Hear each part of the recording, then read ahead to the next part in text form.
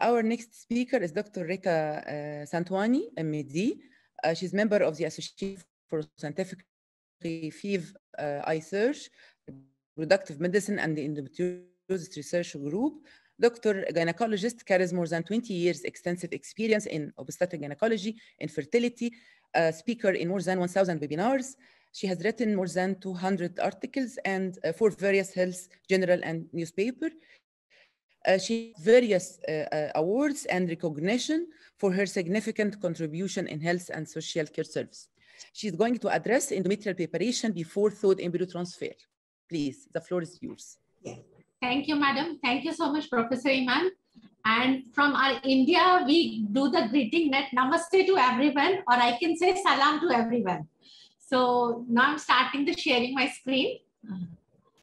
And thank you. Uh, please make me host. I'm not able to share my screen. Uh, well, uh, our next speaker is Dr. Muhjah Falah, MD, PhD. He's member of the Association for Scientific Research for the AIV Research, Reproductive Medicine and the Endometriosis Research Group. Dr. Falah, lecturer at uh, Karbala University, Iraq. She had a degree of Master of Science in Clinical Embryology and ART, PhD in Infertility and the Clinical Reproduction from High Institute of Infertility uh, Diagnosis. She has many publications in different scientific journals. She is going to address impact of serum progesterone value on embryo transfer timing and pregnancy rate. Dr. Falah.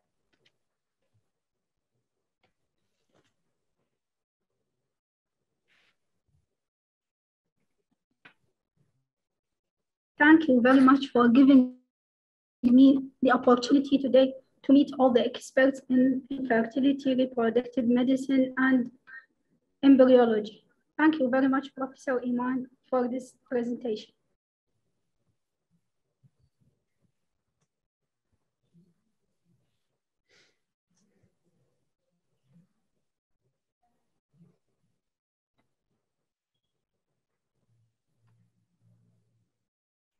Is it okay? Yes. The presentation is okay?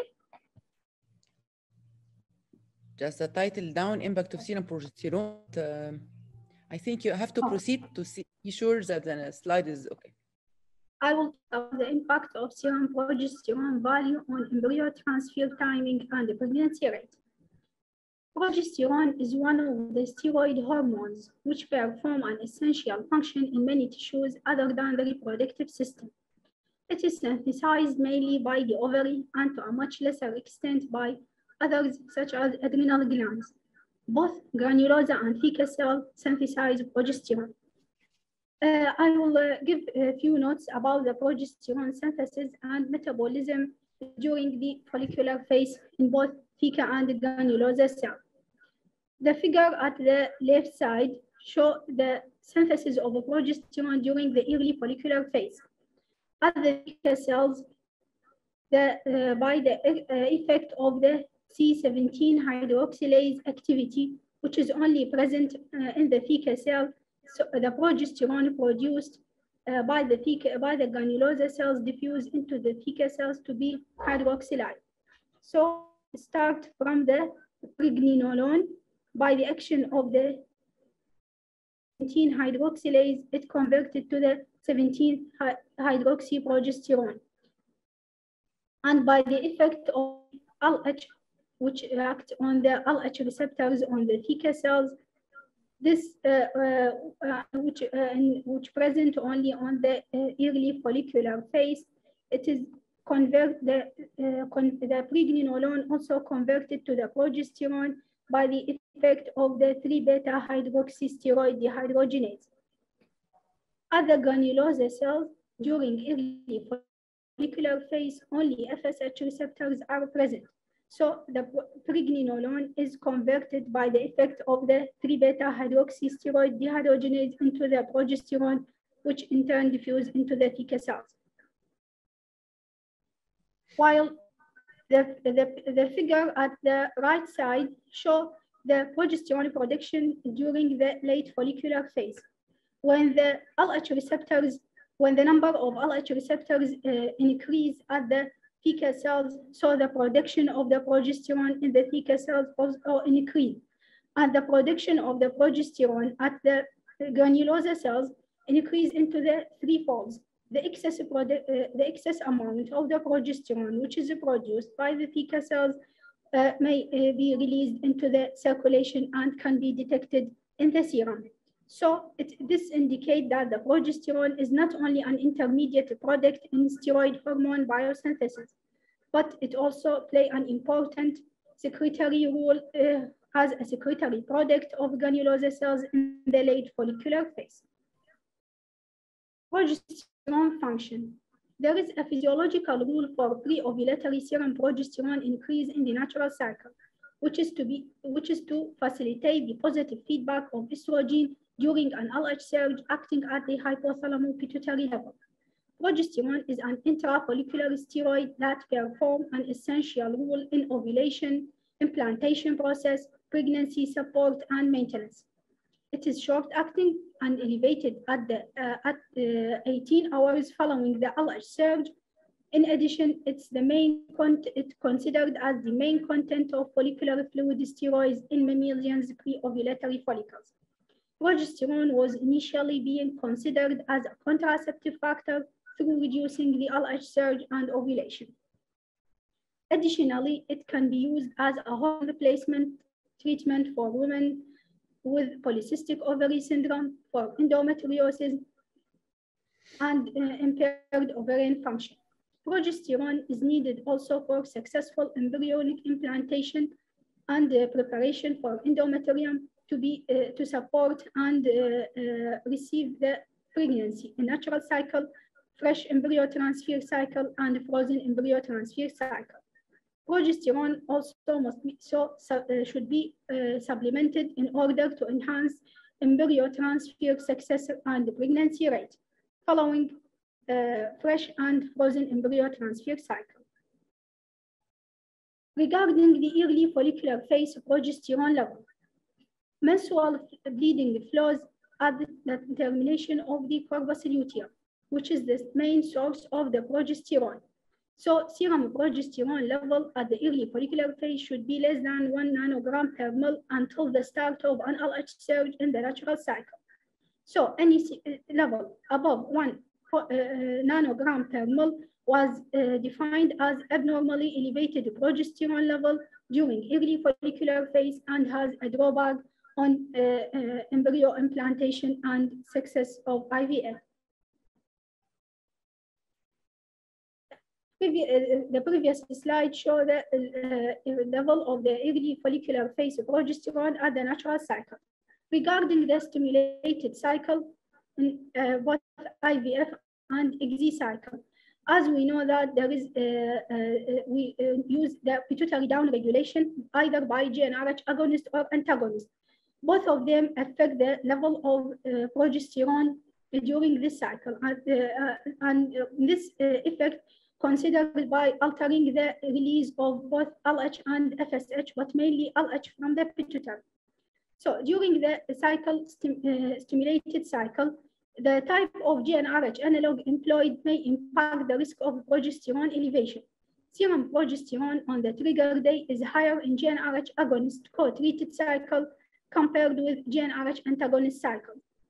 Regarding the cycles which is uh, downregulated by long GnRH agonist protocol, corpus luteum can be rescued by the initial flare effect of the GnRH agonist on LH secretion. So serum progesterone level increase as a result of an increased LH level.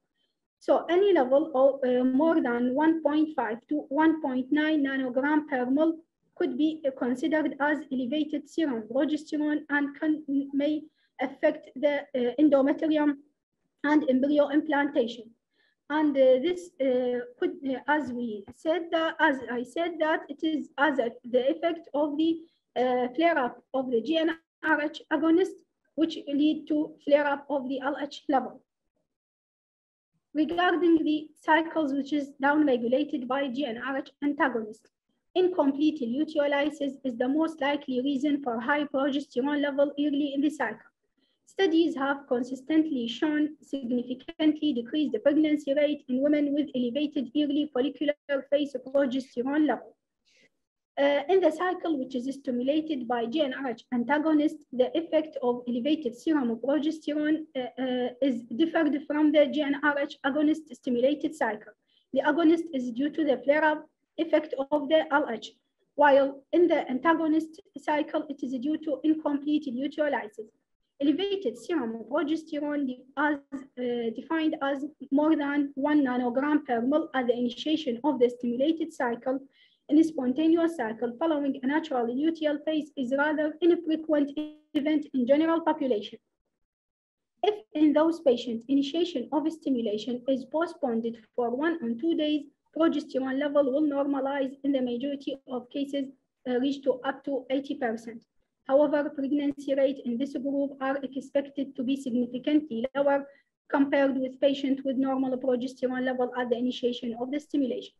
So we can conclude that uh, the, the, high level of progesterone during the stimulated cycle adversely affect the endometrium and implantation. Uh, this effect could be uh, due to uh, asynchronized in, endometrium with the stage of the, with the stage of the developing embryo.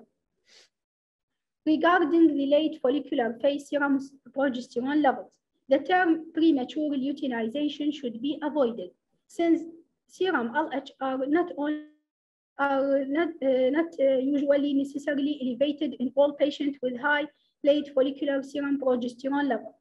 Uh, also, uh, uh, I said that uh, the, the main effect of high level of progesterone is due to high LH, but it is not usually elevated serum progesterone level associated with elevated LH. So the term premature luteinization should be reconsidered. The risk of late follicular progesterone elevation is strongly correlated with the intensity of the ovarian stimulation, which mainly depend on the FSH dose consumption, serum estradiol uh, concentration, uh, which depend on the production uh, from the growing and developing follicles, and the number of the oocyte retrieved. These observations clearly indicate that it is the granulosa cell mass that dictate the premature progesterone elevation during the stimulated cycle, especially in hyperresponder patients. So when the uh, woman produce a high number of uh, uh developing follicles with a high uh, FSH dose conception and high level of serum uh, estrogen production from the developing follicle, those are high risk of uh, elevated serum progesterone level during late follicular phase. However, serum progesterone increase can also be noted in even poor ovarian responder females who produce a little number of uh, uh, follicle, developing follicles and uh, low level of uh, estrogen production and which is mainly this related to the uh, uh, uncertain mechanisms. However, the excessive FSH stimulation for those poor responder females uh, uh, put them at risk of a high level of serum progesterone at the late follicular phase. Progesterone supplementation route and administration timing. For progesterone supplementation, there are three administration routes, either oral, vaginal, and intramuscular, and I think that Dr. Rito uh, covered this topic uh, uh, in her presentation. The oral progesterone administration provides inadequately sustained plasma progesterone concentration. This is due to the first pass hepatic metabolism and impaired its absorption. Regarding the vaginal and intramuscular administration, it has been reported that intramuscular is more effective than vaginal supplementation. And some studies uh, uh, demonstrate that both of them have the, uh, the same effect on uh, serum progesterone level following supplementation. Several factors can change progesterone uh, uh, serum level following vaginal administration, like sexual intercourse, poor patient appliance, vaginal retention, disposition, and uh, uh, metabolism variations. Progesterone route of administration effectiveness can also depend on other factors such as the age and weight of the female. It can be supplemented uh, uh, also in, instead of uh, the pure progesterone, it can be supplemented through the gonadotropin releasing hormone agonist. As we said that it has a flare-up effect and it stimulate the production of both LH and FSH. Following the LH production, it uh, uh, stimulate prog uh, progesterone production from the corpus luteum. Another important aspect to be considered in the progesterone administration is the timing and the duration of the administration. The timing is very important and should be uh, uh, synchronized with the implantation window. The implantation window, it is the ideal length of the progesterone supplementation and the growth of maximal endometrial receptivity, which can be determined by uh, uh, many factors, but mainly by endometrial biopsies collection and assessing the presence of pinopodes or other biomarkers of implantation in form of gene expression as the, uh, uh, demonstrated by the ERA test.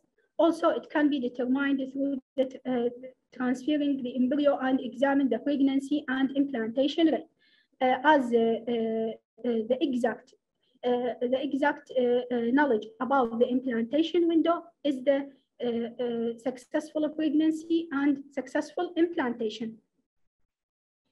For most ART treatment, progesterone supplement practice is started either at the evening of at, at the evening of the day of oocyte retrieval or at least three days before embryo transfer. Thus, if an embryo transfer is performed on day three of development, progesterone supplementation should be performed three days before day three embryo.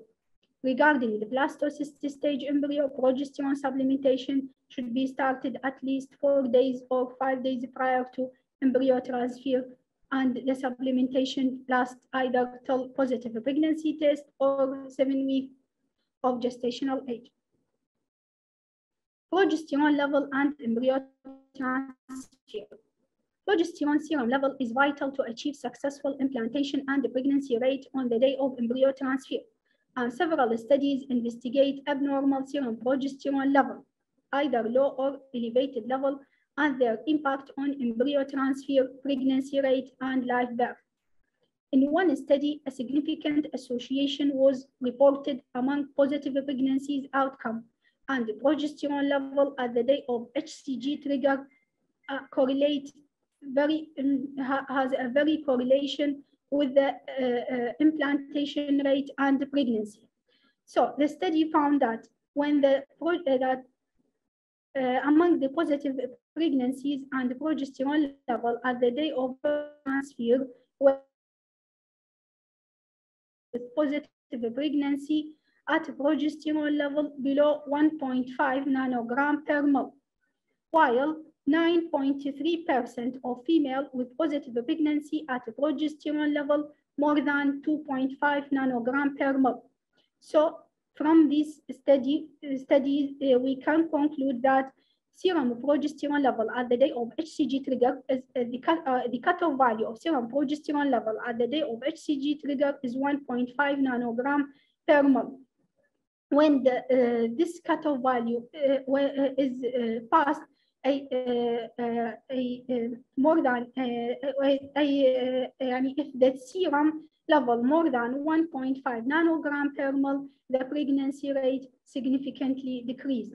In addition, among 1,100.7 women getting pregnant when the level of progesterone level below 1.5 and only 127 get a pregnant at the level of 1 to 2 nanogram per ml and 70 women get pregnant at the level of more than 2 to 0.5 to uh, more than 2 to 2.5 nanogram per ml. Progesterone level on the day after HCG administration.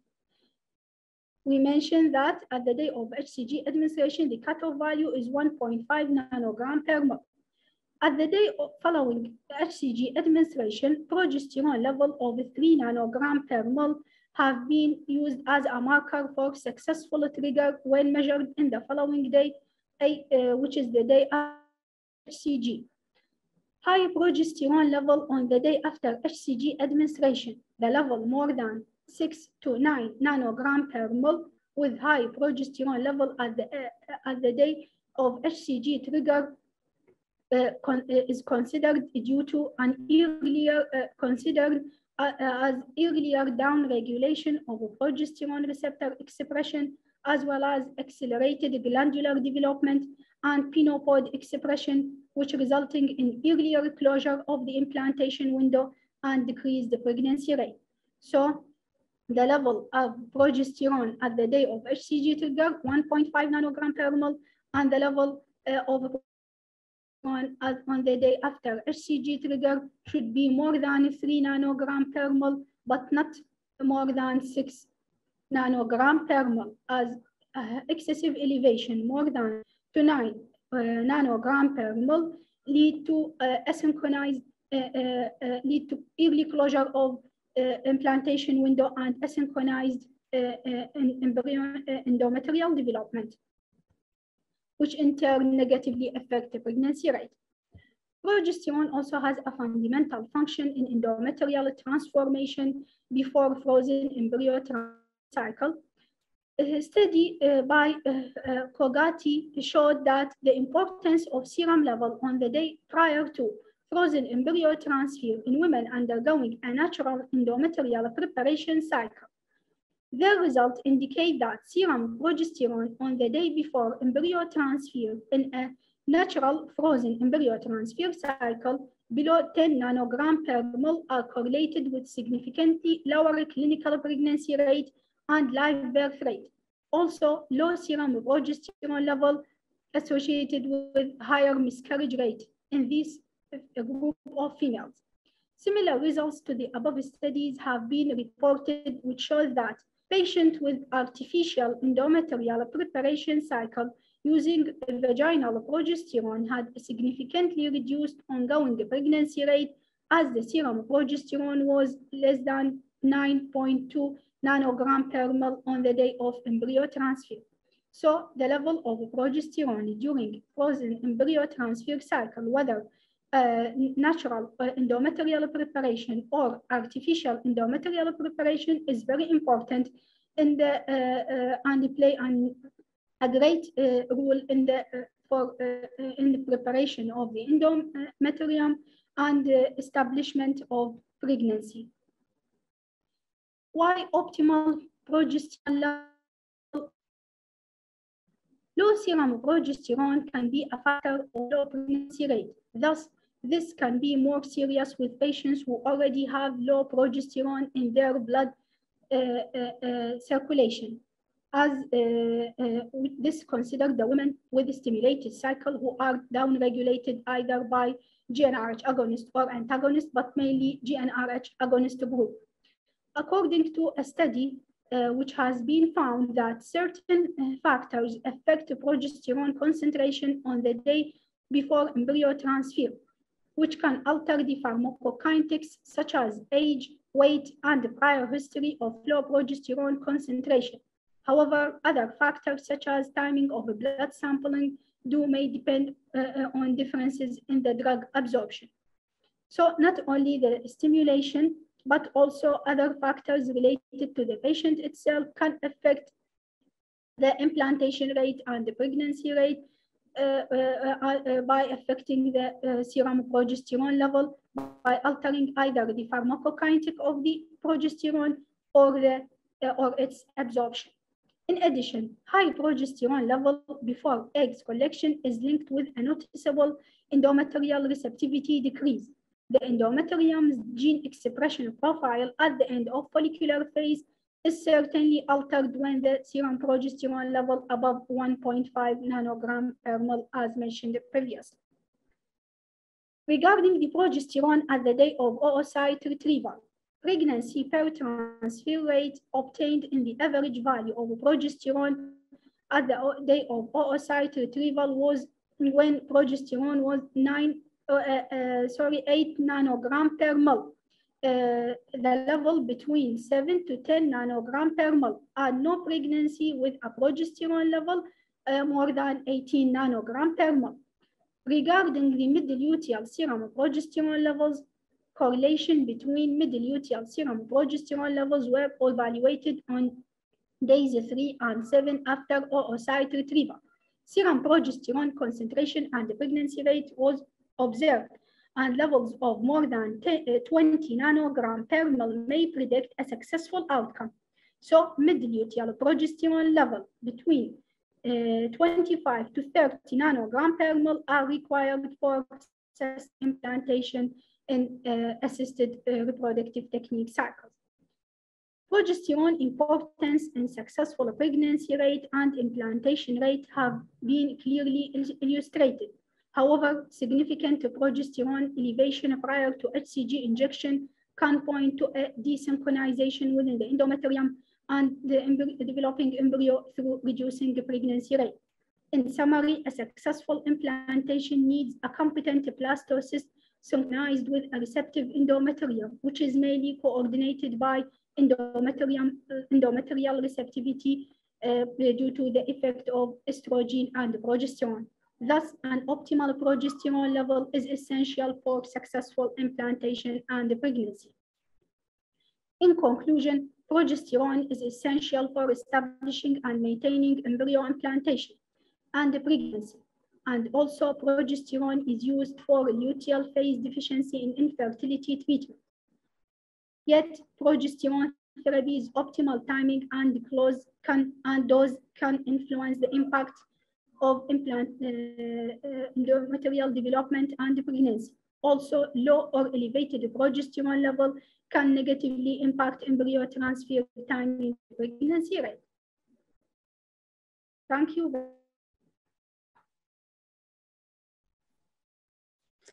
Thank you, Dr. Muhjah, for your uh, excellent and conclusive presentation.